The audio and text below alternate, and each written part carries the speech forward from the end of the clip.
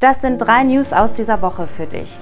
Diese Lehrerin und dieser Lehrer aus Brandenburg müssen gerade viel ertragen. Gegen sie wird gehetzt auf der Straße und im Netz. Sie hatten öffentlich gemacht, dass es an ihrer Schule rechtsextreme Vorfälle gab und wollen diese Schule im Spreewald nun verlassen. Brandenburgs Ministerpräsident will deshalb jetzt mehr gegen Rechtsextremismus tun. Stranger Things wird erstmal nicht weiter produziert. Marvel-Filme verzögern sich, denn in Hollywood wird gestreikt. Die Drehbuchautorinnen und Autoren machen das eh schon seit Mai und jetzt machen auch noch die Leute vor der Kamera mit.